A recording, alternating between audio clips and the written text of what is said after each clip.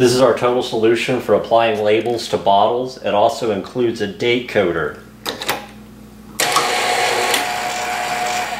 You're able to apply round labels to the container and it creates a date code right there above that barcode.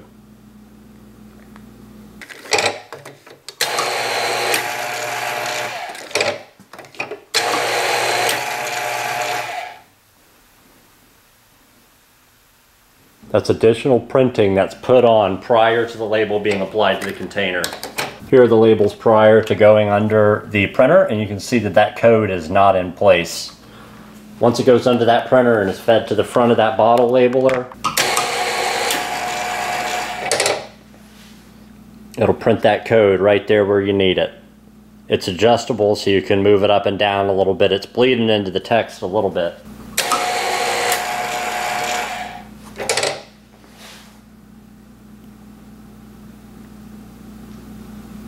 This machine is also available in a wider version for larger bottles and can also do front and back labels.